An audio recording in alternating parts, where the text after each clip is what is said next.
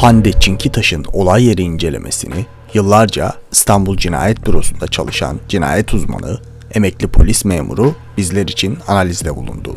Olay yeri ne anlama geliyor? Olay nasıl gerçekleşti? Katil kimler olabilirdi? Katil veya katiller ne gibi ipucu bırakmıştı?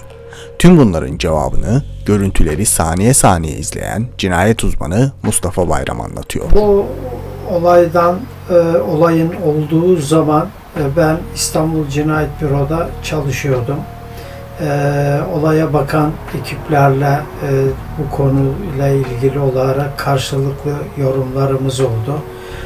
O dönem içerisinde e, e, Hande Çinkitaş'ın öldürülmesi olayının birinci derece şüphelisi babası olarak görüldü ve o şekilde değerlendiriliyordu.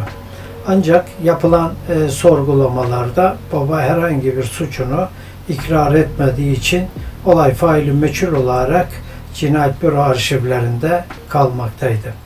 Tabii bu dönemden sonra e, zaman zaman bu olay medyada çok sayıda gündeme geldi ve e, devamlı surette her gündeme gelişte farklı farklı yorumlar yapılıp e, baba zaman zaman gözaltına alındı, bırakıldı e, ve yaklaşık aradan 23 yıl gibi uzun bir süre geçtikten sonra evet, hala Türkiye'nin gündemini meşgul etmektedir.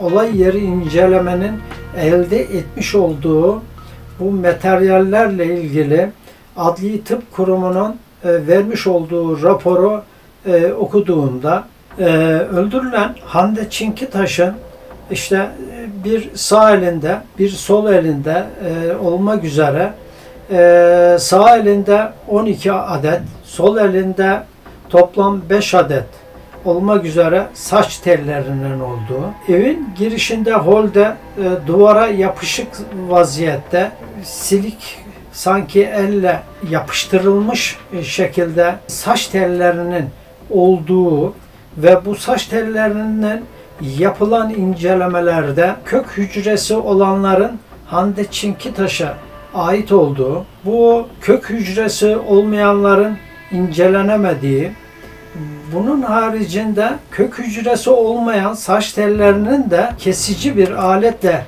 kesilmiş olduğunu e, Adli Tıp Kurumu raporunda e, gördük. Bunun haricinde Hande Çinkitaş'ın sol elinde elde edilen 5 adet saç telinin bir tanesinin de insan saç teli değil hayvana ait olduğunu bunu, e, raporda beyan edilmiştir.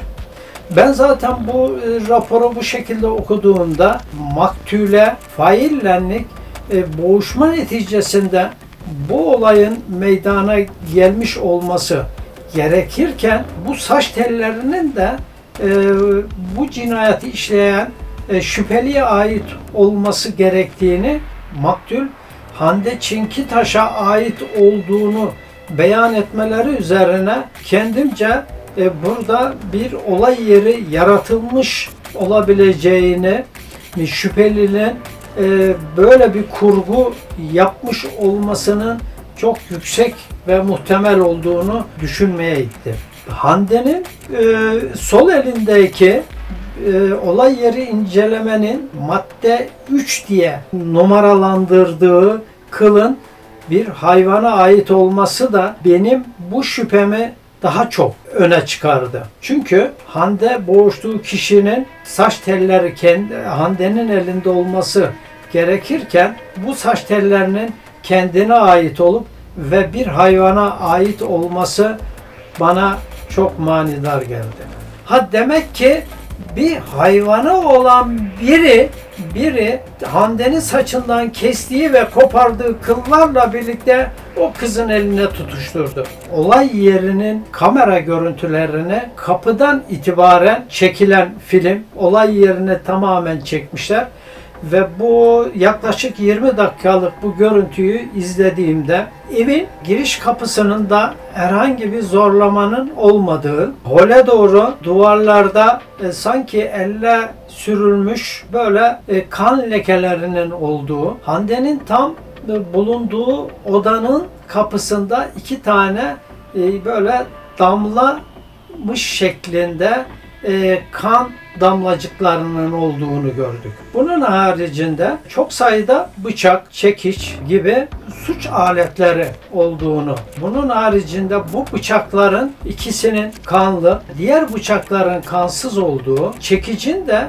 üzerinde kan lekesi olduğu, bu kanların tamamen Hande'nin kanıyla örtüştüğünü görüyoruz. Hande'nin öldürülmüş olduğu odaya girdiğimizde Hande sırt üstü yatar vaziyette, boğazı tamamen kesilmiş ve bulunduğu yattığı yerde baş kısmı da tamamen kanların akmış olduğunu bunun haricinde yan tarafında bulunan tek kişilik yatağın kendi tarafında bulunan beyaz e, çarşafın yoğun derecede kanlı olduğunu gördük. Bir de Hande'nin e, yattığı yerin hemen yan tarafında e, ütü masası ve ütü masasının üzerinde ütünün e, düzgün bir şekilde bırakılmış olduğu bir, bir kanı bizce bence oluştu.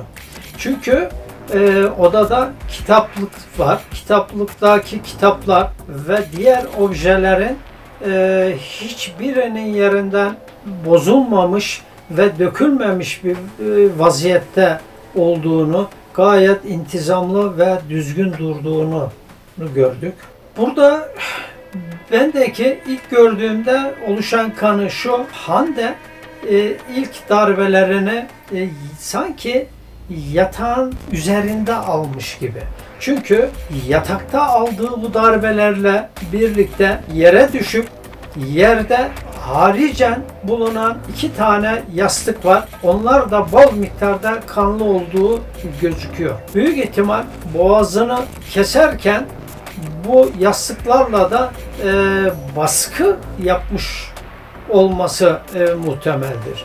Çünkü boğazı bu şekilde kesilen e, bir insanın kan e, oda içerisinde etraflara sıçrayarak e, diyelim oda içerisinde duvarlara ve etrafa e, savrulması ve dağınık bir şekilde kan olması gerekmektedir. Fakat Hande'nin kanı adeta olduğu yere akmış. Olduğu yere aktığı için Hande'yi e, boğuştuğu kişi Hande'den çok güçlü ve Hande'yi böyle adeta ırganamayacak şekilde kontrol edip bu bıçak darbelerini kendisine vurduğunu e, düşünmekteyim. Bu e, holdeki duvarlardaki o kan lekelerinin kan lekelerinin de e, adeta sanki dışarıdan yabancı biri gelmiş olayın oradan başlayıp odaya e, odada bitmiş şeklilenlik bence uydurma bir e, senaryo olduğunu düşünüyorum. Çünkü e, kapıda başlamış olsaydı Hande'ye ilk vurulan darbelerde e, holün tüm duvarları adeta kan gölü olması lazımdı. Çünkü o duvardaki kanlar tamamen böyle elle silme ve silik şeklinde kanlardır. Öyle sıçrama duvara adeta e, ilk bıçak darbesiyle karşı tarafa fışkıran böyle kan damlacıkları değildi. Bu olayda gördüğüm Hande'nin e, bu e, incelenemeyen saçlarının e, kesici aletlerle kesilerek kızın biri sağ biri sol eli işte efendim e, göğsün şeyde göbeğinin üzerindeki saç teli ve holdeki duvara yapışık olan o saç tellerinin tamamen e, şüpheli tarafından konduğunu ve uydurma bir olay yeri yaratıldığının e, açık bir göstergesi olarak görüyorum. Bunun haricinde Hande'nin altında bulunan siyah tight e, giysisiyle üstte bulunan göbeğinin üstüne kadar e, sıyrık vaziyette olan e, tişörtüyle beraber yatar vaziyetteydi. İnşallah o tarihte bu giysiler alınıp e, adli emanet depolarındadır diye düşünüyorum. Çünkü Hande'yi bu şekilde e, üzerine baskı yaparak bu kızı fazla e, boğuşmasına fırsat vermeden o bıçak darbeleriyle bu kızı öldüren failin kesinlikle e, elleriyle olsun, vücuduyla olsun ona baskı yapmasından dolayı e, bu elbiselere e, terden DNA bulaşacağını kesinlikle düşünüyorum. Olay yeri inceleme ekibi veya e, adli tıp kurumuna ceset kaldırıldığında tırnak aralarında şüpheliye ait DNA ile ilgili swap alınmıştır diye düşünüyorum. Çünkü ben adli tıp kurumunun yazmış olduğu raporda bu kızın tırnak aralarında herhangi bir swap alınıp inceleme yapıldığına dair bir şey görmedim. Baştan söylemiş olduğum e, kızın üzerinde bulunan siyah taytla tişörtüyle de ilgili de herhangi bir incelemenin yapıldığına dair herhangi bir bulgu çıkıp çıkmadığına dair bir bilgi e, okumadım. Bunun harici harici olarak Hande'nin yanına bırakılan bu ütü masası ve ütünün bunlarda ne gibi bir inceleme yapıldı onları da çok açık e, net olarak e, göremedik. Evde bulunan lavabolarda herhangi bir kan lekeleri görmedim. E, yabancı biri bu cinayeti işlemiş olsaydı kesinlikle o lavaboda elini yıkardı ve elbiselerini silerek kanları temizlemeye çalışırdı. Genelde bu tür cinayetlerde hep gördüğümüz şudur. Yabancı biri gelip bu cinayetleri işlediği zaman kesinlikle temizliğini yapar, öyle çıkar. Ancak burada bu cinayeti işleyen kişinin o evde ikamet eden birinin olması çok yüksek. Çünkü olay yerini değiştirmek istemesi bu kılların bu şekilde elinde tutuşturulması adeta olayın sanki Hande kapıyı açmış dairenin giriş kapısından itibaren başlamış havasını vermesi ve yabancıların gelip e, bu cinayeti işlediğini anlatmaya çalışmış. Fakat duvarlardaki kan lekelerinin hiçbiri bir insana ilk darbeyi vurduğun zaman sıçrayan kan lekeleri değil. Bu kanlar kesinlikle kendi eliyle ama çıplak eliyle ama eline eldiven giydi. O şekliyle duvarlara sürterek kan lekelerini o duvarlara bulaştırmış olduğu ap açık bellidir. Bu saç tellerini tekrar adli tıp kurumuna gönderilerek yeniden terden DNA var mı yok mu bunun araştırılması lazım. Bunun haricinde eğer bu kızın elbiseleri tight giydiği tight ve tişörtü adli emanet deposunda ise bunların tekrar adli tıpa gönderilerek bu e, elbiselerde terden DNA araştırması yapılması gerekmektedir. Çünkü bu tür cinayetlerde şüpheliler genelde şuursuzca vururken ellerini keserler ve e, şüpheliye ait olay yerinde kan elde edilmiş olması lazımdı. Veya şüpheli olarak alınan ailenin diğer üyeleri olsun veya komşular olsun hiçbirinde kesiye rastlanmamış. Demek ki Hande'yi kontrollü bir şekilde öldürmüş öldüren kişi ve şuursuzca da bıçak sallamamış. Onun için bıçağı boğazına vurduğunda Hande'deki bu e, kan sıçrama yapmasın diye orada bulunan yoğun kanlı yastıklarla bası yapılarak Hande'nin öldürülmüş olduğunu e, düşünüyorum. Bu tür cinayetler e, evlerde işlendiği zaman yabancı biri işlediğinde kesinlikle olay yeriyle ilgili herhangi bir değişikliğe e, gitmez.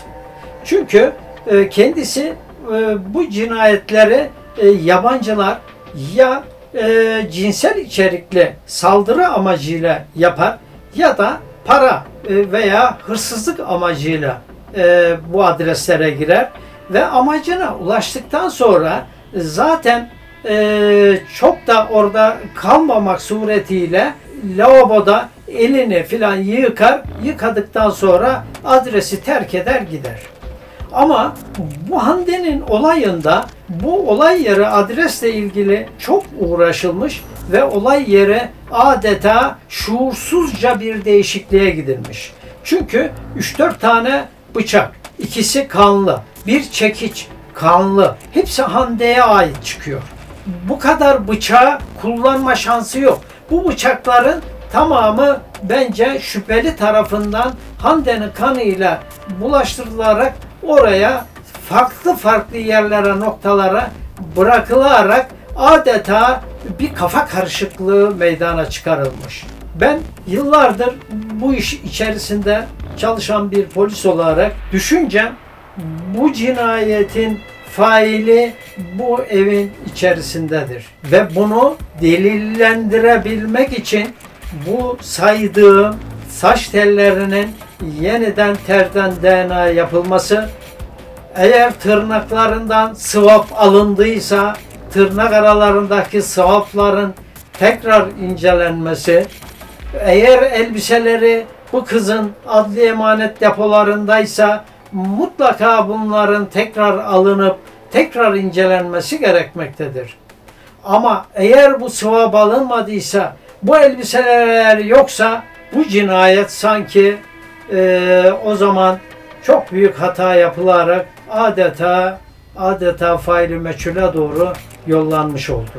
Dairenin kapıdan kimsenin zorla girdiğine dair veya camlardan girdiğine dair herhangi bir bulgu ve delile de rastlanmadığından dolayı bu olayın kesinlikle aynı ikamette oturan kişi veya kişiler tarafından işlenerek daha sonra da e, olay yere farklı şekillendirilerek işlendiğini ben bu dosyayı kendim okuduktan sonra üzülerek anlatıyorum ki ta o zaman eğer bu elbiseler tutuluyorsa e, tırnak aralarından swap alındıysa şüpheliye ait kesinlikle bir DNA bulunacağını düşünüyorum.